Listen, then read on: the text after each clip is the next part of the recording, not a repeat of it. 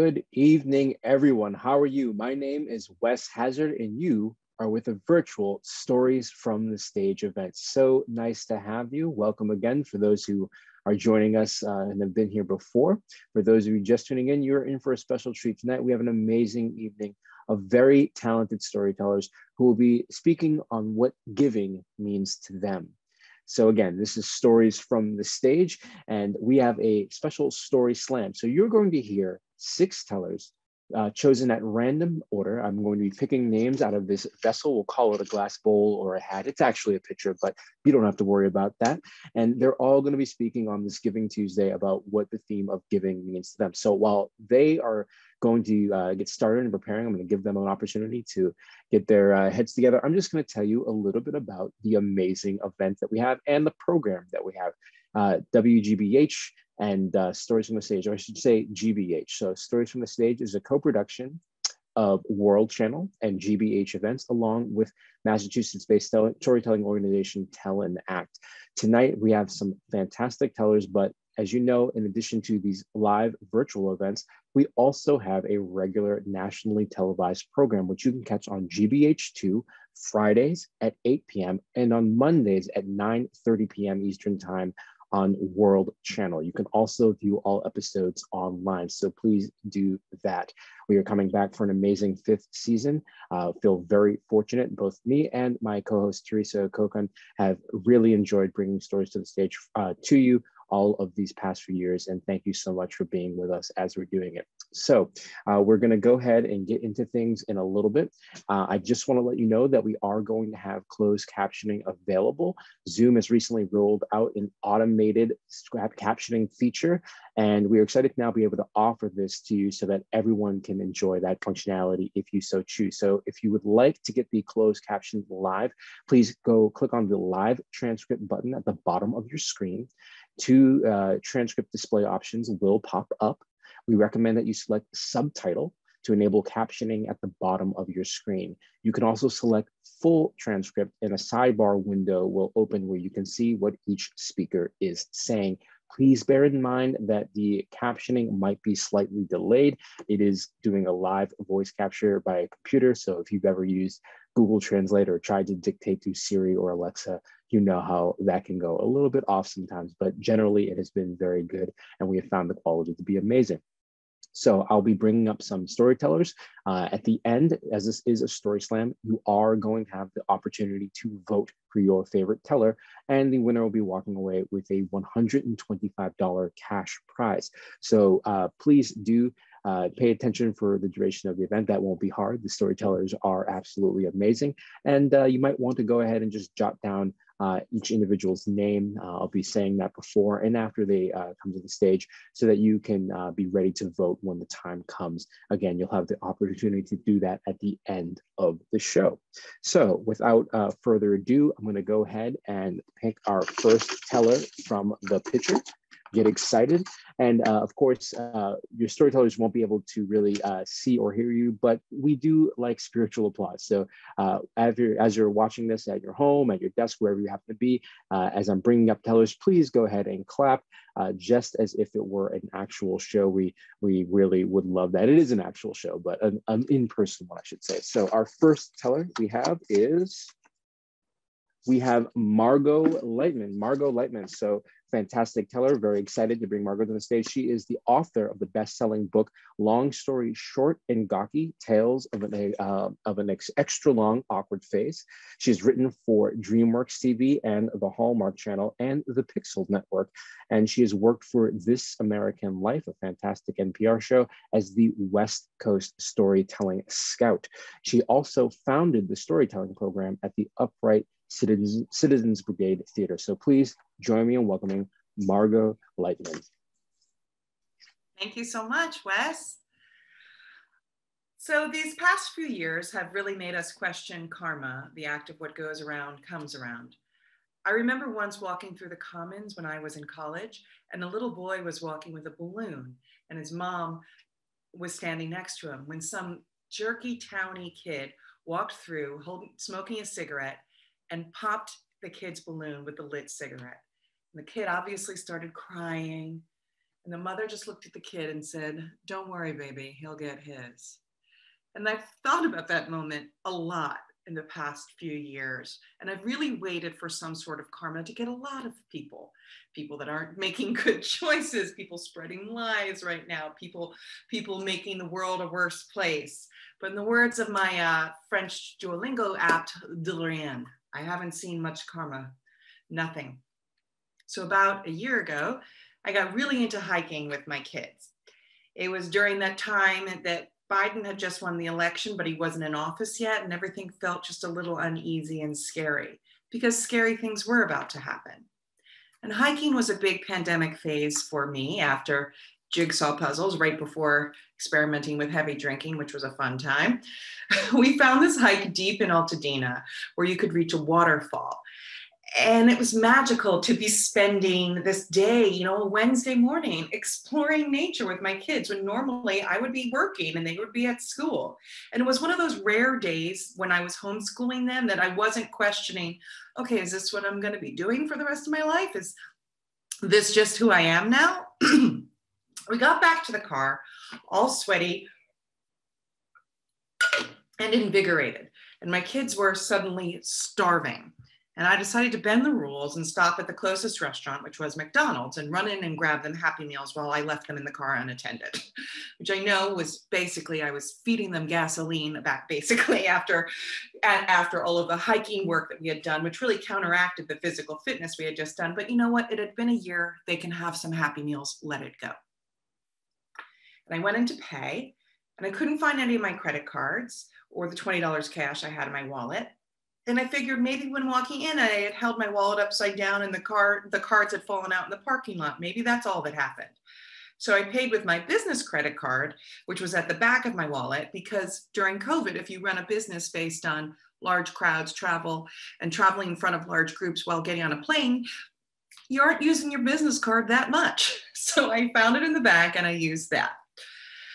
When I got back, my credit cards were nowhere to be found in the parking lot. And then I checked the apps for them on my phone, and there were some very recent transactions. In fact, $4,000 at Best Buy and $250 at Ulta Makeup, both done simultaneously while I was hiking to a waterfall. Okay, so I'd been robbed. Some jerk broke into my car and which I had left my wallet in while I was hiking because I decided it would be too heavy to carry while hiking. I'm not in the greatest of shape. And then I also realized that there was no sign of intrusion into my car. So, on top of that, I must have somehow left the car open with my wallet in while hiking. I didn't mean to even leave it unlocked, but did I deserve it? Did I get mine? Oh my gosh, it felt invasive. And look, I know it's not such a big deal to get robbed. I mean, and, and the, get your money stolen in a time where the world was happening. I mean, it's November 2020. The election had just happened. The pandemic numbers were really high. Was this really the worst thing that happened? I seem to get robbed at times like this. The last time I got my wallet stolen, I was living in Manhattan and it was September 9th, 2011. Two, excuse me, September 9th, 2001. A few days later, just two days later, I thought, you know what? I think the police have probably forgotten about your case. Maybe just get a new driver's license and get over it. There are bigger things going on in the world right now than your wallet. So on the ride home, I started frantically calling the banks to cancel everything, getting in arguments about no, no, no, why would I ever spend $250 in one shot at Ulta? I'm not that type of a girl. No, it wasn't me. I told them I was more of a Sephora girl, which is a complete lie. I'm really more of a CVS girl, is more of like a luxury makeup for me. Or if I'm being really realistic with you, I'm more of a buy the makeup at Albertsons. It's the wrong shade for your skin while you're shopping with your two children. I, I don't have time to shop at Ulta and spend $250. And no, I didn't spend $4,000 at Best Buy while simultaneously hiking to a waterfall and I'm yelling at the bank while driving, and my kids are munching on their chicken nuggets. And then I realize I'm going to be late to get home to teach a class on Zoom because when you've started work, start working at 2 p.m. out of your living room, sometimes forget you aren't actually going to work. You're more kind of rolling over to work, and nothing really matters anymore. And then you had good credit before, and is this going to ruin that? And as I was on hold with the bank while emailing my class to tell them I've been robbed and class will be starting a little late, all from the red light. I see a woman in a blue shirt just waving frantically to get me to come over. And my kids are like, Mom, she wants you to pull over, pull over, pull over. And I'm thinking, oh gosh, this would be just my day. My flat tire, I probably have a flat tire or something. And she's telling me it's not safe for me to drive. But I pull over and I roll down the window, and she basically, this woman in the blue shirt basically screams in my face, You've won! Congratulations! Free gas! Come with me, we'll fill up your tank. Happy Honda days! And I was like, The Happy Honda days lady is a real person? And I got so choked up because everything melted away in that moment the election and COVID and my credit cards and Ulta and Best Buy and my wallet from 2001. I mean, I got free gas. As I pulled up, she filled my tank and there were zero strings attached. And all I could think was back to that little boy in the balloon. Well, well, well, don't worry, baby, he'll get his. And that, my friend, is karma. Thank you.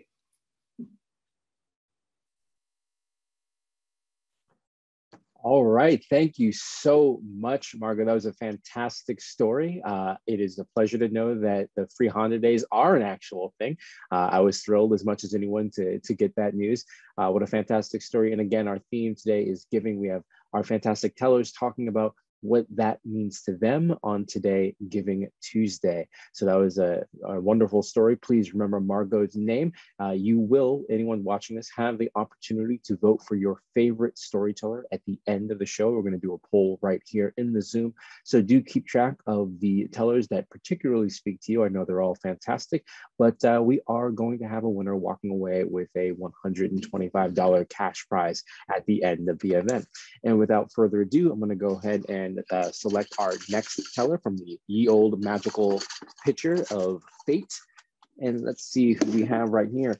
Ah, yes, fantastic. Right now we have uh, Sanjay Lahiri will be coming up next. Uh, fantastic teller has been with Stories from the Stage before, uh, originally from Kolkata, India, but has called the Boston area home for over 20 years. Uh, she's had a long career in environmental management and, and is a GIS specialist. And she is also a writer and producer who recently, one of her short stories was recognized as Boston's 2021 One City, One Story selection. That is indeed an honor. Uh, she should be very proud. Please join me in bringing up to the Stories from the Stage virtual stage, Sanjay Lahiri. Make some noise.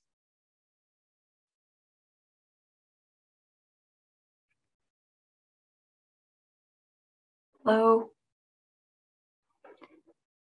Um, my video's on. Is can you see me?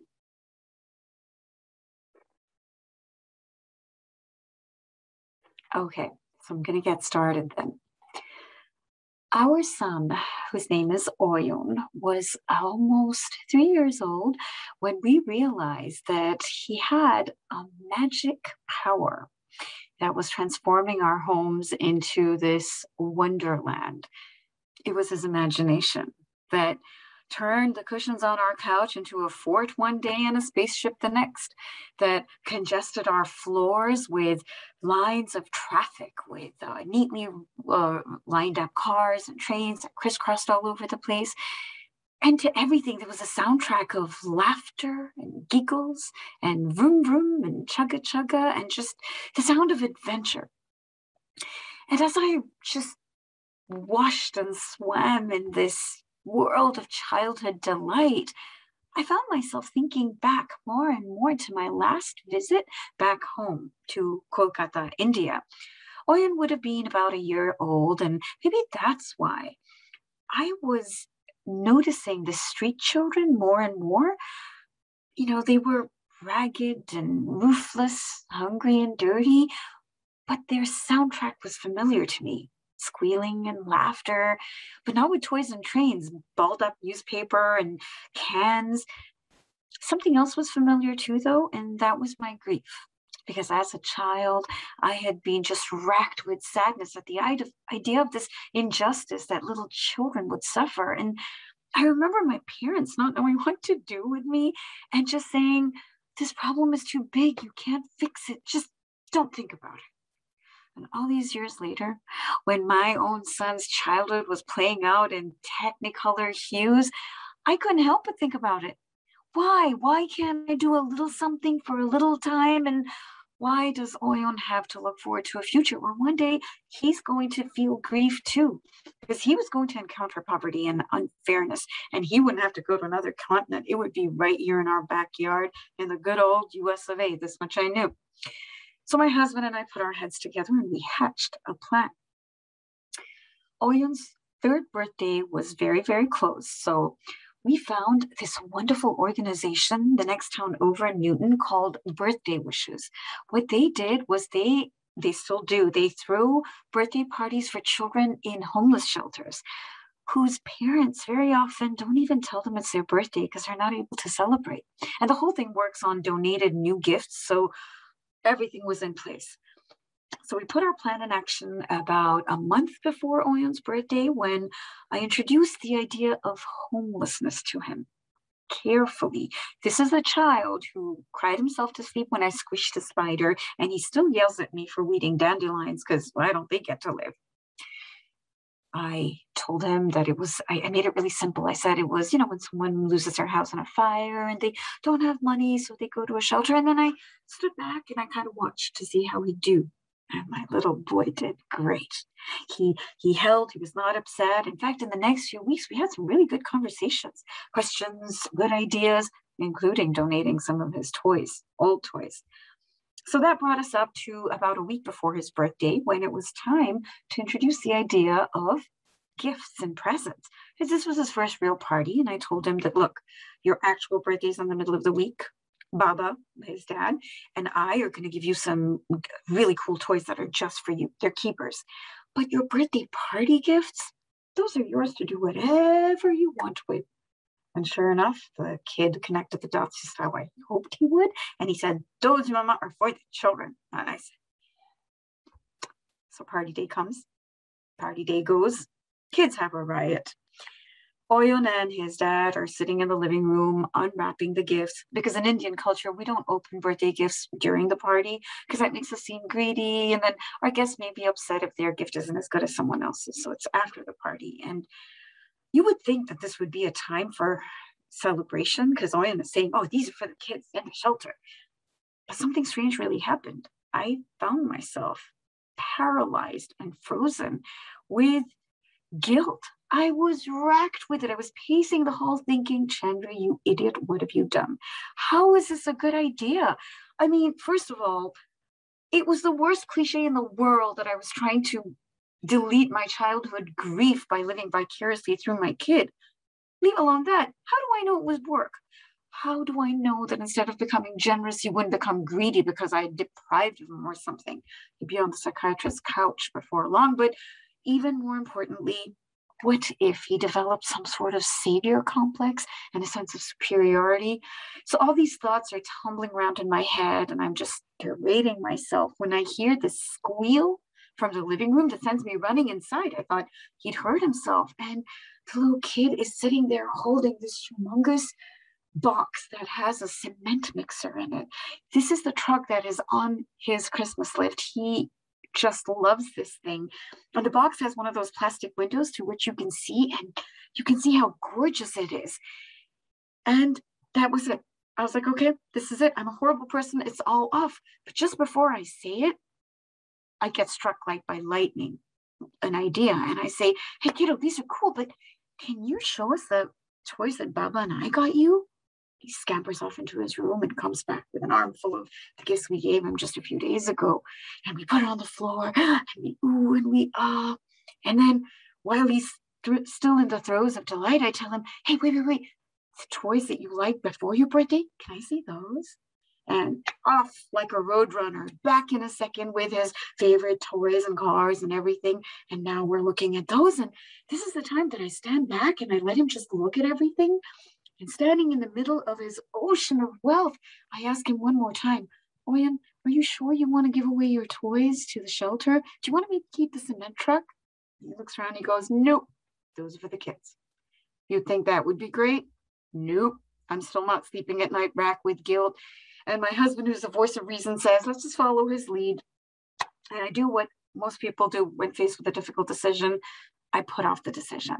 It is now a month after the party. The presents are sitting in a pile in a corner of the room, and Oyen has developed this very strange tradition of running there right after he gets back from daycare every day, picking up that cement mixer mixture and uh, uh, truck and just looking at it, staring at it for up to an hour. That little glass, that uh, plastic window is smudged with the imprint of his little nose. And then enough is enough. Chandra, shit, or get off the pot. We pile all the toys into my car. We go to the church in Newton and we meet the director of Birthday Wishes, Lisa Vasilov, for the first time. She's wonderful. And both of us are watching as Owen pulls out all the toys from the bag and puts it on the table. The last thing to come out is a cement mixer. And I can't help it. I lean in and I say, Owen, are you sure you don't want to keep that? He gives me a crit little no. And that's that. And that was 12 years ago. Owen's 15 now. And on the wall of Lisa's office in Birthday Wishes is a series of photographs of Oyen every year from then until recently. And I know we haven't solved any problems, and I don't know if he's going to turn out to be greedy or have a savior problem. But what I know is a little bit of something may just be more than a whole lot of nothing. Thank you all. All right, thank you so much for that fantastic story, Chandra. Uh, that's Chandra Lahiri. Please keep her in mind. Uh, I'm sure everyone loved the story, as you will for all tellers tonight. But you, again, will have the opportunity to vote on your favorite teller at the very end. And we'll be putting a poll right here in Zoom. So please keep that in mind and keep track of the tales that you are particularly loving this evening, this Giving Tuesday.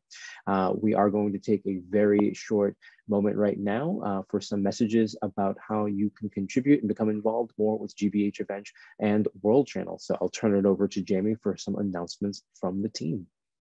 Thank you, Wes. And uh, thanks so much to our audience at home for joining us tonight. You know, here at GBH, storytelling is at the heart of what we do. We strive to highlight the importance of storytelling, not only as an art form, but also as a method to bring people together. If you value GBH programs like Stories from the Stage, we ask you to please make a donation. If you're able to give $10 a month or $120 per year, you will receive the Stories from the Stage mug and journal set pictured behind me. The stylish 12 ounce ceramic mug is microwave and dishwasher safe. The softbound journal is perfect for taking notes, writing lists, and jotting down great story ideas. You know, play a lead role in GBH's continuing story today. Donating is simple and secure. Please go to gbh.org slash support events and click on that link you see in the chat tab and contribute what you can. You may also opt to text GBH to 800 204 3811. I'll say it one more time. Please text GBH to 800 204 3811. You can also scan the QR code behind me to be brought directly to our donation page.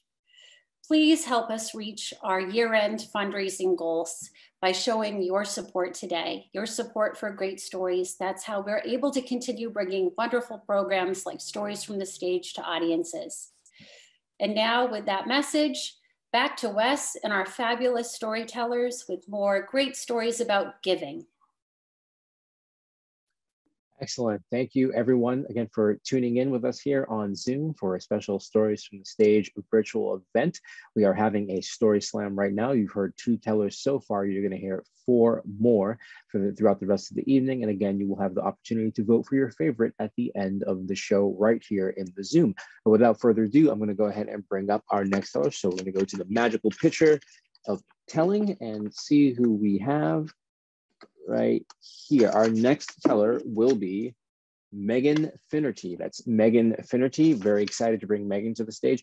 Megan is a professional listener who likes to talk, which is her way of uh, referring to herself as a journalist and a storytelling consultant for both individuals, nonprofits, and national brands. She is the director of the Storytellers Brand Studio and is the founder and director of the Storytellers Project, a national series of events which has been covered in national media.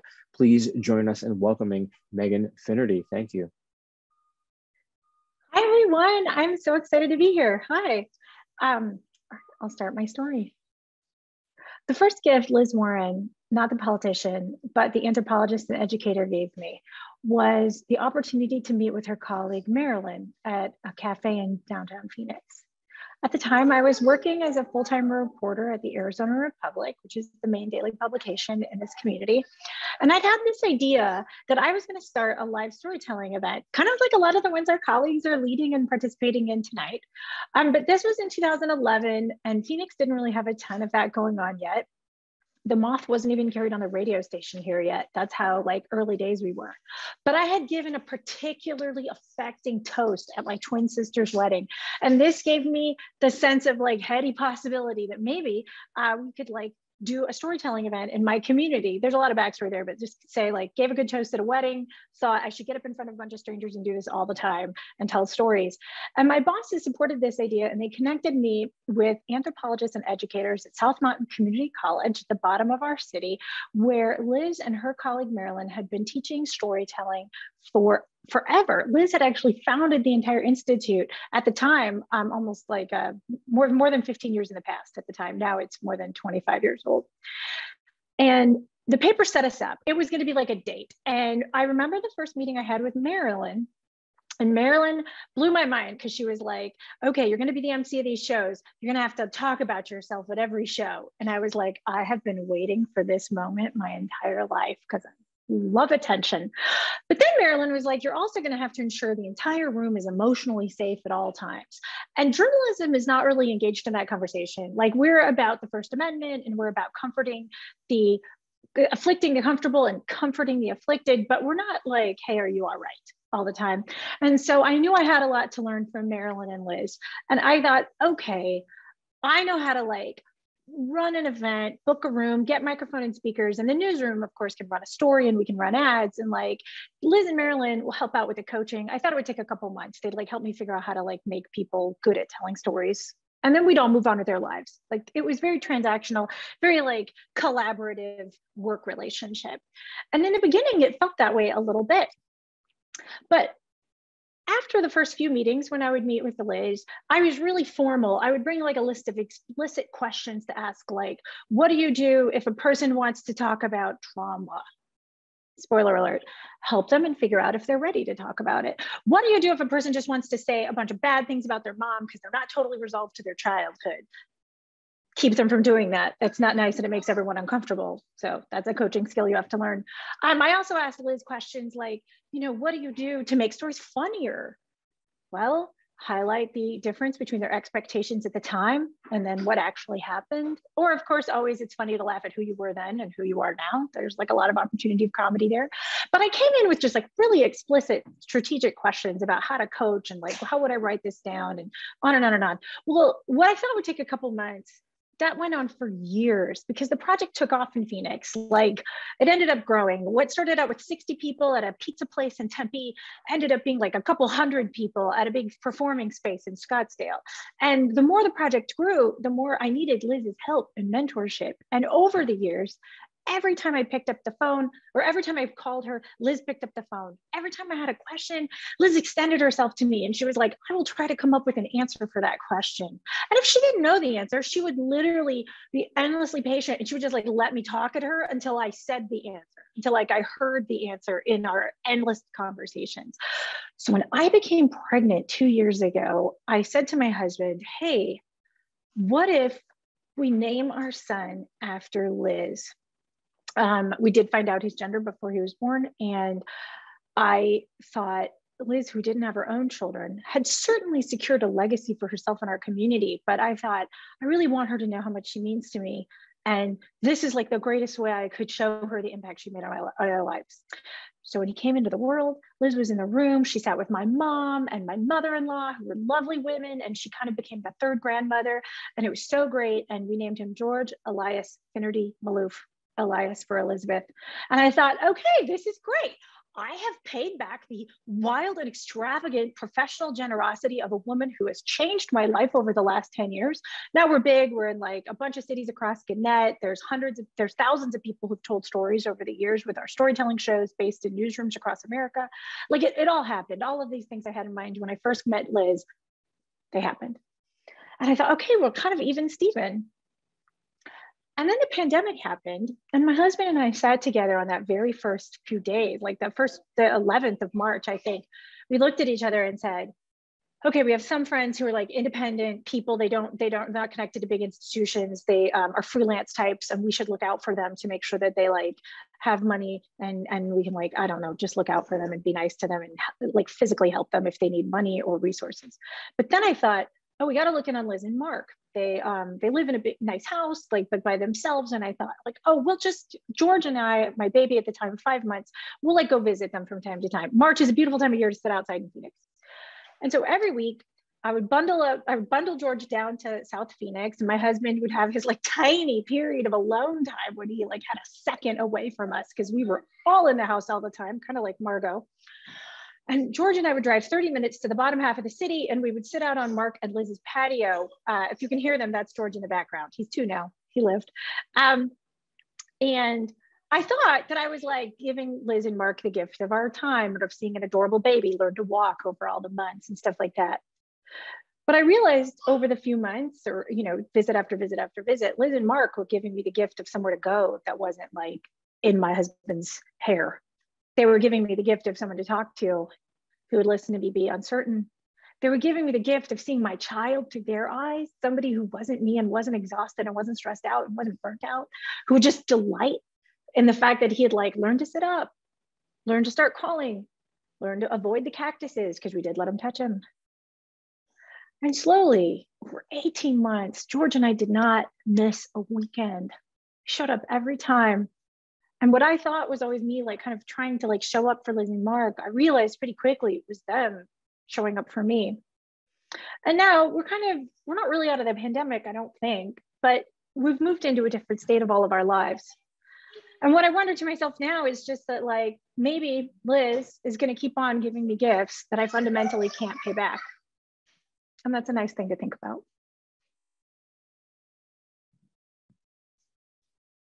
Thank you so much, Megan. And thank you from our audience. Again, everybody, we're all virtual, but go ahead and give a round of applause.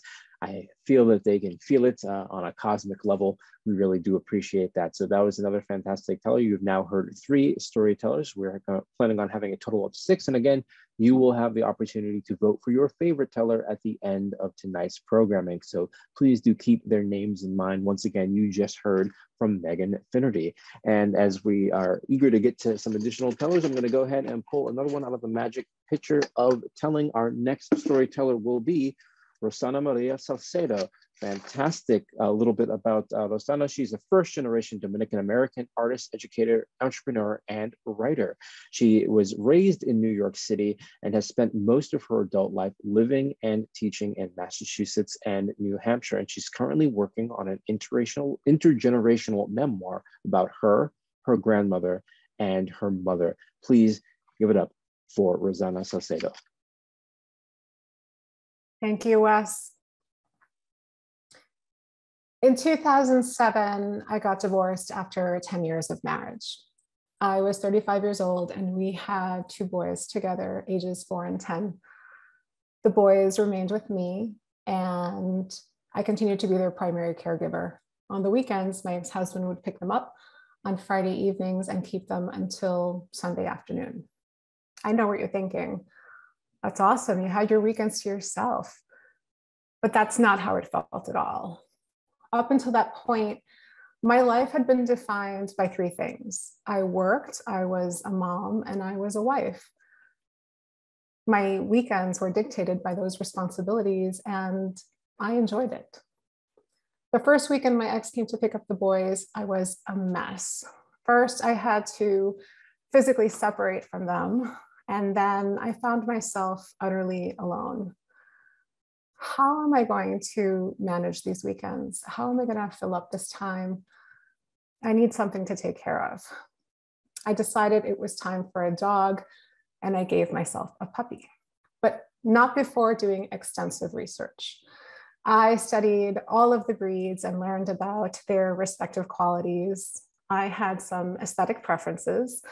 Um, I like to be outdoors, so I wanted a dog that would be active with me. And I definitely wanted a female dog because I was tired of being outnumbered. But most of all, I wanted a dog known for its devotion and loyalty and protectiveness. I landed on an English Shepherd, close in breed to the Border Collie and the Australian Shepherd.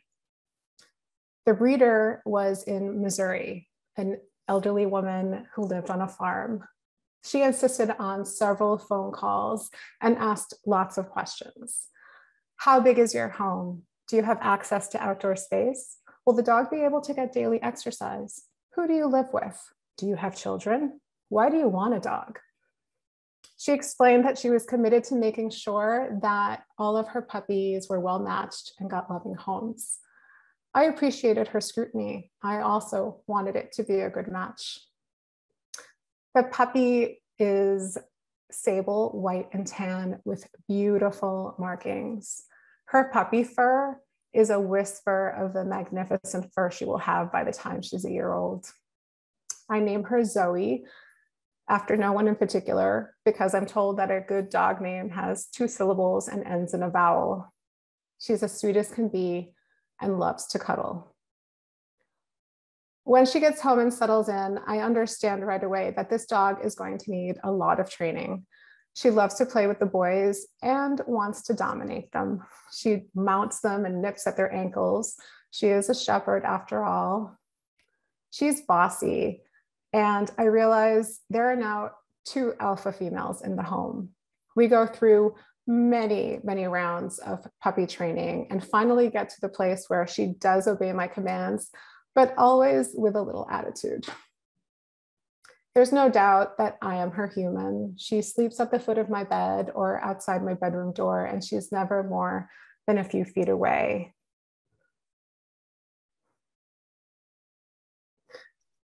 When she's full grown, she's about 50 pounds, and I get a bigger car with a cargo area. Zoe comes with us everywhere hiking, camping, holiday weekends. Uh, if I'm ever away for more than a few days, I will drive the boys and Zoe to my parents' house. She is a gracious and well behaved house guest, and my parents love her like a daughter or a granddaughter. Our daily walks are a ritual. Neither of us likes the rain, but we both weather the cold just fine. Trails and fields are easily accessible, and these are happy places for us. Zoe knows that as soon as we get to the trailhead, I will let her off leash and that as soon as we get into the open field, I will chuck the ball into the air for her 30, 40, 50 times. Once in a while, there will be a flock of birds in the middle of the field, geese or seagulls. And if she's off leash, her instincts kick in and she's off, running circles around the birds, trying to herd them. In those moments, I sit in the grass and just watch her in awe of the grace and speed with which she moves her body. When she's done scaring the birds away, she'll come back to me and sit down beside me without me having to even call her. Boyfriends come and go. If they don't appreciate Zoe, the relationship is short lived. My own boys grow up and their interests take them elsewhere. Zoe starts to slow down. Three mile walks become two mile walks, and two mile walks become one, one mile walks she no longer can climb the stairs in the house and she can't jump into the cargo area anymore. I have to lift her into and out of the car. I meet a man and I fall in love. He's a dog lover too and spoils Zoe as much as I do. When the pandemic hits, we settle into a routine and Zoe is glad and pleased that now she has two people to spend the day with. We spend most of our time in a little house on Cape Cod with a big backyard surrounded by woods, and Zoe is content. Last July, when um, things got better and it was safe enough to travel, my partner and I wanted to take a two week vacation, but we were concerned about leaving Zoe behind. Fortunately, my oldest son agreed to stay with her while we were away. While I was on vacation, I called him every day to check in on them, and he said she was moving slowly, but she was doing fine. I returned on a Sunday, and there she was, waiting at the door, tail wagging. It had only been two weeks, but even in that short time, I could see that her health had declined. The next day was Monday, and she was quiet. I had to encourage her to go outside. And that evening, she didn't sit by our feet the way she usually does. She chose to lay down by herself in a different room. I thought that was strange. On Tuesday, she didn't get up at all. She was awake, but she couldn't lift her body, and she would not eat or drink. At 3 p.m., the vet came by the house to examine her, and she said that it was a matter of time. I looked into Zoe's eyes, and she told me she was ready. Zoe was put to sleep in my arms at home that afternoon. I read somewhere once that dogs come into our lives to help us, to teach us something, uh, to help us grow, and that when we're ready, they take their leave. Zoe gave me 14 years and she waited for me to return to say goodbye. And for that, I will be forever grateful.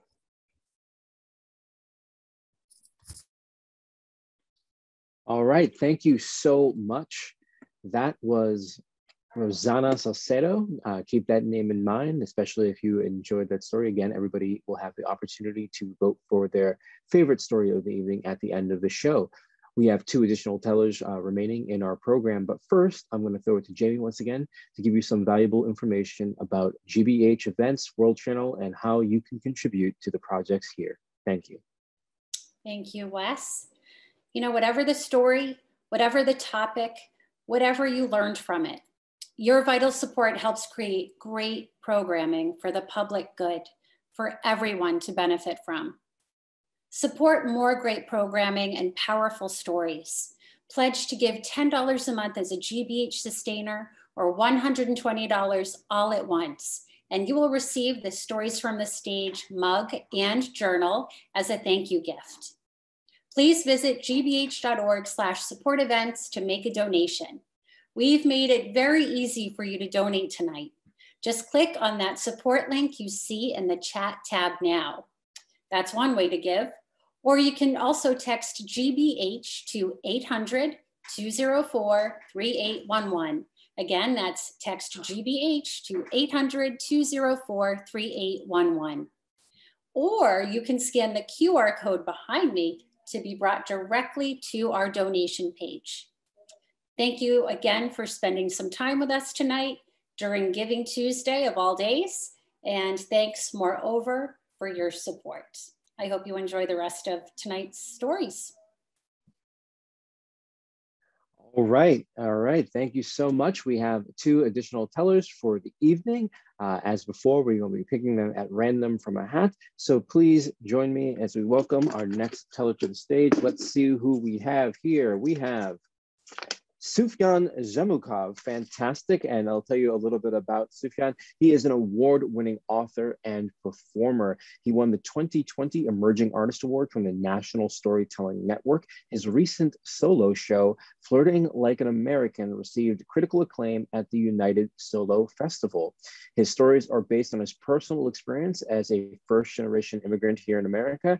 And he says that they are funnier and more entertaining than you may expect. I'm sure that you're absolutely going to love what he has to share. Please join us in welcoming Sufyan. Well, thank you so much for such a fantastic introduction. As, as Wes said, I uh, moved to the United States. I, I came from Russia, and to be precise, from a Muslim part of Russia called Circassia. And I like observing differences between tough Russians and kind Americans. For example, Russians never smile, while Americans are known for their beautiful smile. Or when Russians are angry, they shout at you, while Americans are nicely passive aggressive. And the only contrast that puzzles me is that tough Russians are not allowed to carry guns, while kind Americans have the Second Amendment. And I've always wondered why Americans are so passionate about guns. So one day I visited a local gun shop out of curiosity. And as I walked in, I was overwhelmed with the diversity of weaponry including air rifles, semi-automatics, BB guns, and the shop owner with an impressive mustache looked like he walked straight out of a Western movie. He was wearing cowboy boots, huge belt buckle, massive gun on his hip, and a tiny chihuahua under his arm. I made eye contact with the chihuahua and suddenly could hear how the dog was thinking. Well, Dorothy, I guess you're not in Circassia anymore. Uh, so I thought I've had enough of cultural shock for the day. And I was about to leave when I saw something in the gun shop that I could not resist buying. It was a turkey caller. It was a whistle that hunters used to trick turkeys to fly into open. And I instantly knew that I desperately needed it. So I said, uh, I'll have the turkey caller. And the shop owner said, uh, that's a crow whistle. The turkey on the label is just a brand picture. And he asked, are you hunting turkeys?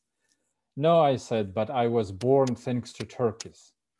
I said, I'm from Muslim part of Russia called Circassia, where we have all sorts of strange customs. Circassians marry young, and younger siblings can't marry before older ones, and parents and children barely talk to each other out of respect. So when my father turned 30 years old and was still unmarried, he created a crisis in the family. On the one hand, he was inadvertently holding his two younger brothers impatiently waiting for their turn to marry. And on the other hand, grandpa couldn't remind him to marry because that was not the kind of conversation that father and son could have. However, my grandpa was renowned for his practical jokes. And this time he used his talent to resolve the crisis in the family.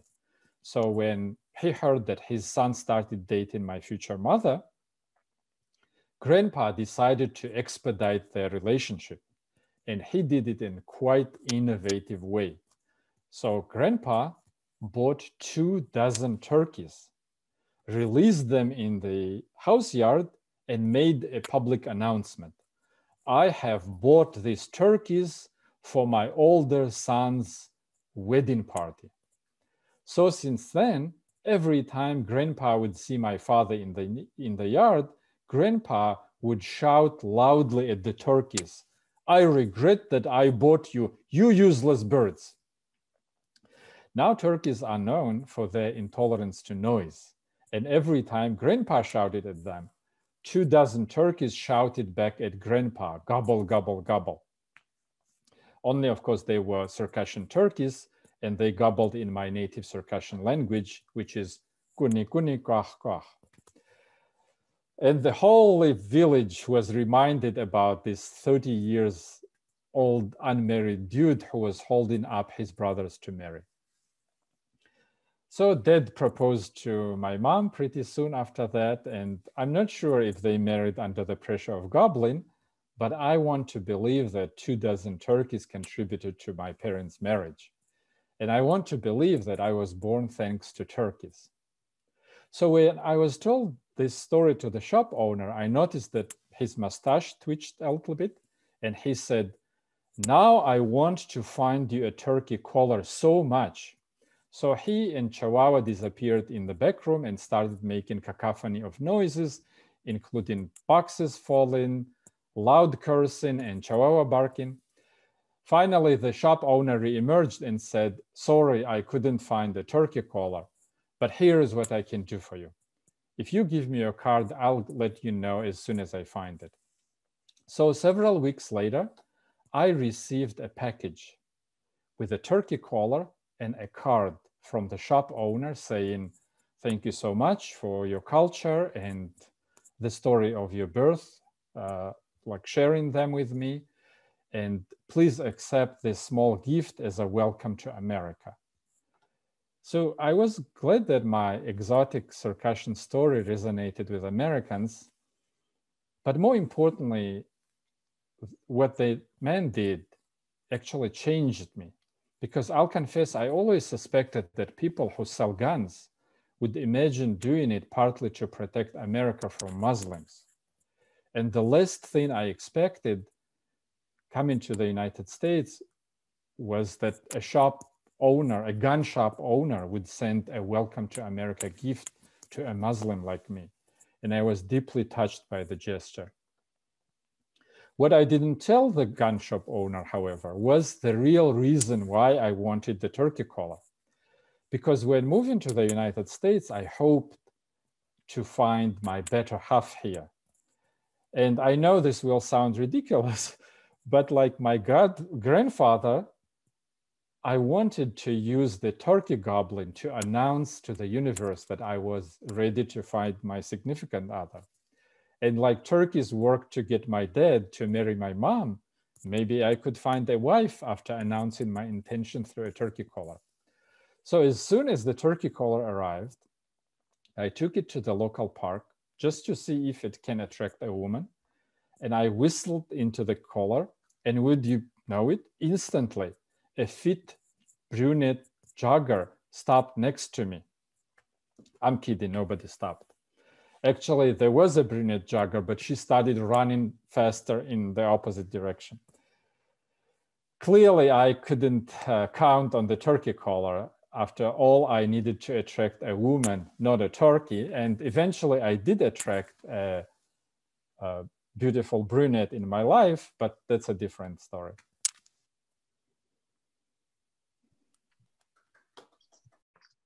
All right, thank you so much, Sufyan, for that wonderful story. I hope everyone is enjoying the evening as much as I am. Again, you're hearing the uh, Stories from the Stage Story Slam on the theme of giving. Today is Giving Tuesday. You've heard from our team about how you can help give to this project that we all hold so dear to our hearts. Please do uh, check out World Channel and Stories from the Stage. Also, you can check us out uh, live or rather on television on Fridays at 8 p.m. at GBH2 and on World Channel Mondays at 9.30 p.m. Eastern Time. And with that, we have our final teller of the evening. It's not so much of a mystery as they are the last person in the magical picture of telling, but I am very pleased to announce our final teller, that would be Mr. Mark Lamb. Mark Lamb is originally from the small town of Sturgis, Kentucky. He recently moved back to Kentucky uh, in order to take care of his mother after being the artistic director of Mark Lamb Dance in New York City, where I happen to be right now. He was also featured, Blast from the Past. If you've been with us from the beginning, you will have seen him on season one episode one of Stories from the Stage. Very thrilled to have him back again. Please join me in welcoming Mark Lamb.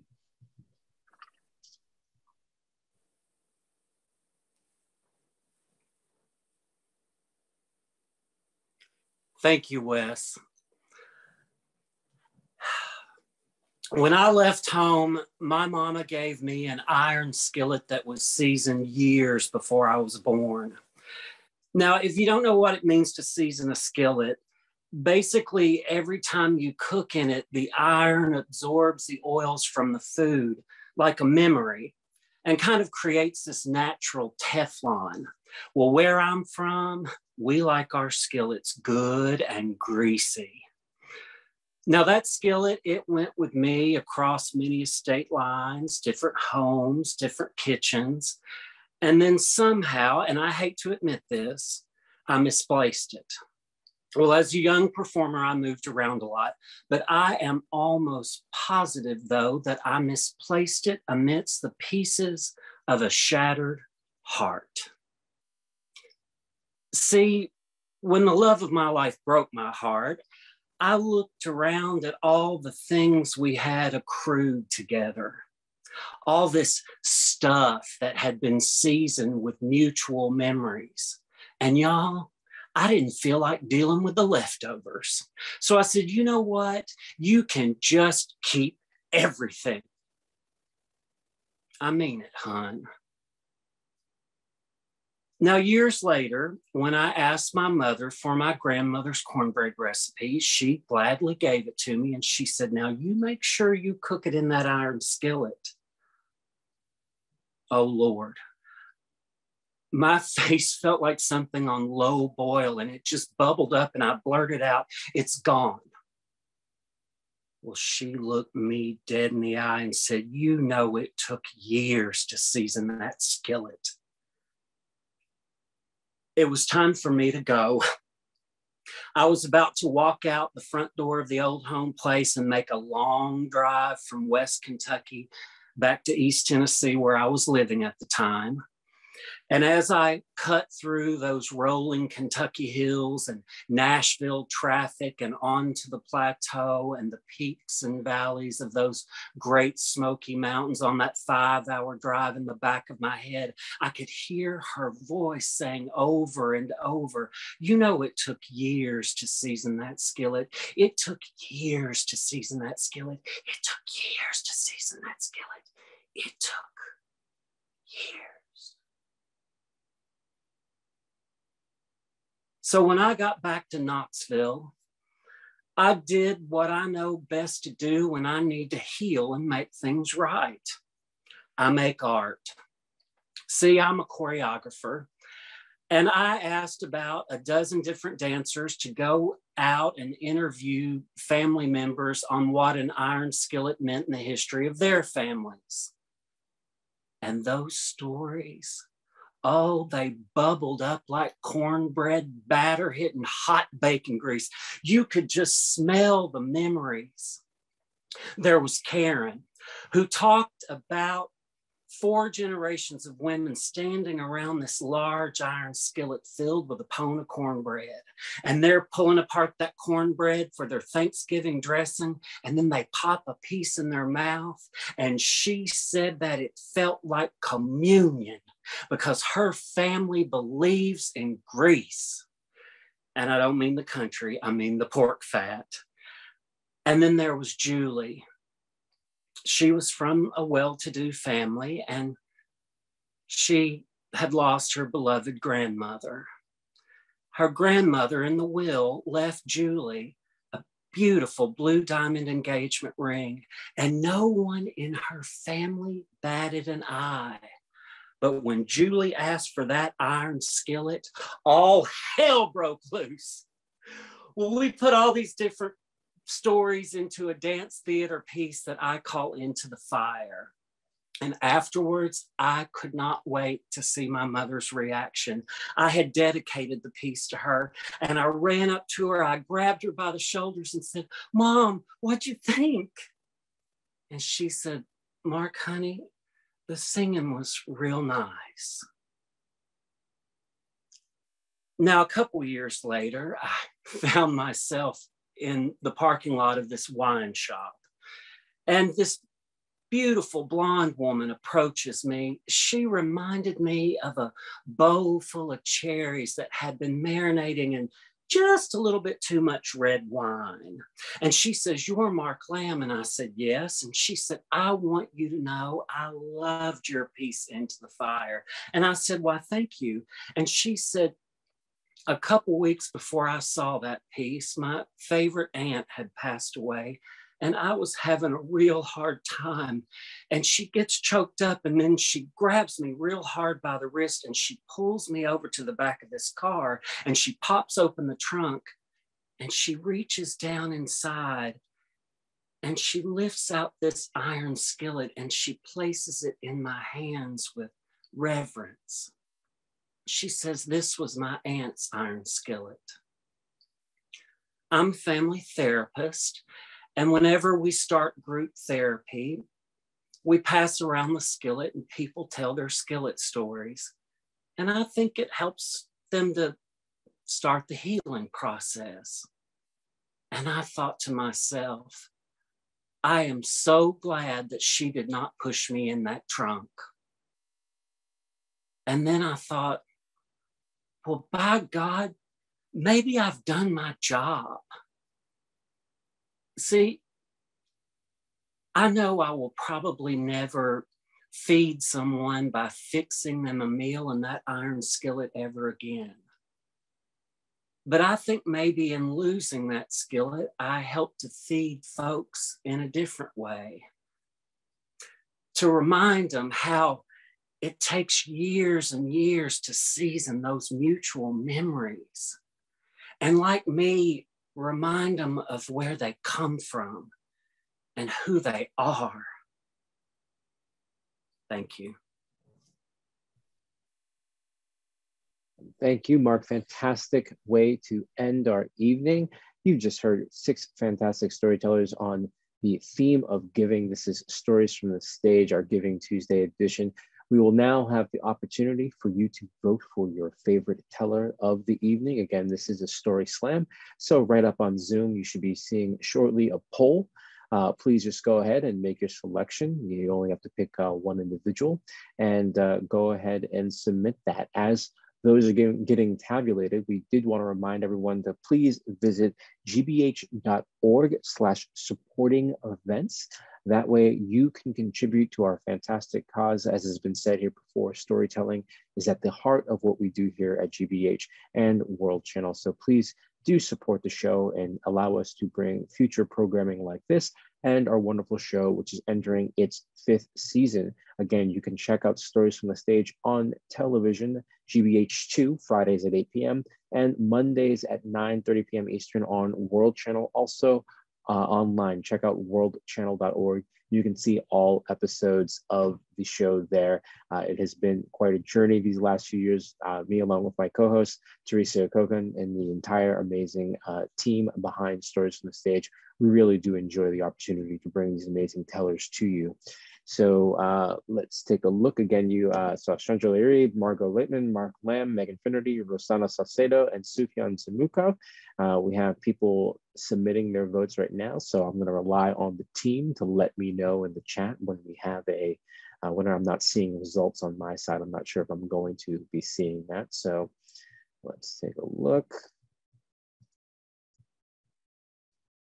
All right, fantastic. And we have our winner. Again, thank you everyone for watching. Our lucky winner, winner of the $125 cash prize is Sufyan, Sufyan Zhemukhov. So please, uh, round of applause. Again, they won't be able to hear it, but in spirit, we know it's there. Make some noise. Congratulations to Sufyan. Again, this is World Channel. This is GBH, Stories from the Stage, Giving Tuesday. I've been your host, Wes Hazard. Thank you so much for joining us. It has been a fantastic evening. And check out gbh.org in order to find out more info about how you can support our wonderful mission.